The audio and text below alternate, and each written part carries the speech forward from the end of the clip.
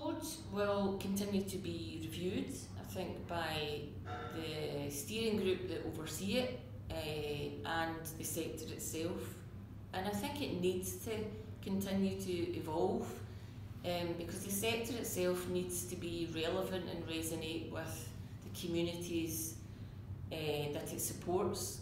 Um, and it will have a, a different relationship as the sector matures with other parts of the economy, um, especially mission-led or more ethical uh, business models. So uh, it certainly will be important to review it, but I think the values and behaviours on the criteria of the current code um, reflect the current situation in Scotland and I think they're worth protecting.